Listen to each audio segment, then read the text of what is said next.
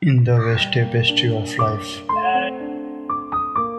motivation is the thread that weaves dreams into reality.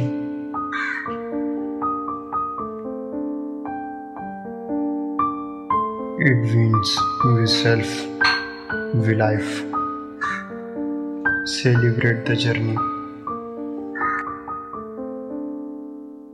God has taught me that never need to worry about tomorrow.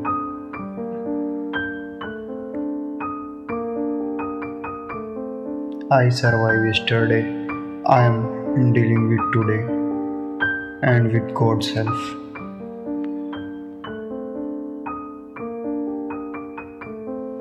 I can face tomorrow and whatever comes my way.